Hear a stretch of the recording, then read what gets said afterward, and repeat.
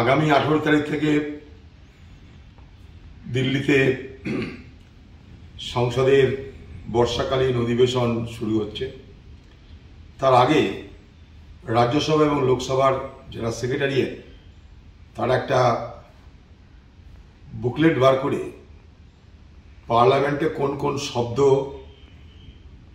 ব্যবহার করা উচিত না, অসংসদীয় তার তালিকা তৈরি করেছে অর্থাৎ অসংসদীয় শব্দাবলীর তালিকা প্রস্তুত করেছে রাজ্যসভার, লোকসভার সেক্রেটারিয়েট। সব থেকে বড় কথা, ভারতবর্ষের গণতন্ত্র তো বারোটা বাজিয়েছে এই সরকার। পার্লামেন্টের যে নিজস্বতা, পার্লামেন্টের যে নিয়মকানুন, সেটাকেও অবজ্ঞা করে, পদদলিত করে এই সরকার নিজের মতন করে পার্লামেন্টটাকেও চালাতে চাইছে। পার্লামেন্টে রুল কমিটি আছে, যারা ঠিক করে সংসদীয় ভাষা কোনটা, অসংসদীয় ভাষা কোনটা। সেই রুল কমিটিতে সব পার্টির মেম্বারদেরকে ডাকা হয়। সেই রুল কমিটি ফয়সালা করে পার্লামেন্টারি অ্যান্ড আনপার্লামেন্টারি ল্যাঙ্গুয়েজ কোনগুলো।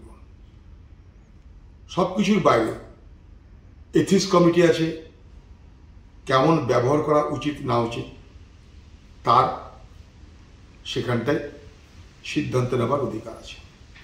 সব কিছুকে অবজ্ঞা করে, হঠাৎ করে পার্লামেন্ট শুরুবার আগে তারা কতগুলো শব্দ চয়ন করেছে। মনে হচ্ছে তারা এক একটা ভাষাবিদ।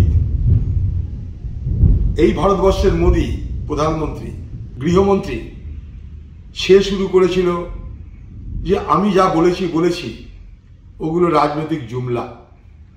তা জুমলাবাজি, আন্দোলনজীবী, যত শব্দ এই পার্লামেন্টের বুক লিস্টে বার করা হচ্ছে, সবগুলো তার সমালোচনা করে বিপক্ষ দলগুলোকে, তাদের মতামতের বিরুদ্ধের লোকগুলোকে, তাদের মতন ভাষা প্রয়োগ করে, সেটা কোনো আনপার্লামেন্টারি হয় না, অসংসদীয় হয় না।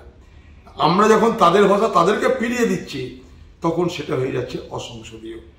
তাই আমি এর মধ্যে স্পিকারের সাহেবের সঙ্গে কথা বলেছি। যে আপনি রুল কমিটির মিটিং ডেকে এটার উপরে সিদ্ধান্ত নিন। এইভাবে নিজেরা নিজেরা সিদ্ধান্ত নিতে পারেন না, কারণ এটা সংসদীয় গণতন্ত্রের মর্যাদা ক্ষুণ্ণ হয়।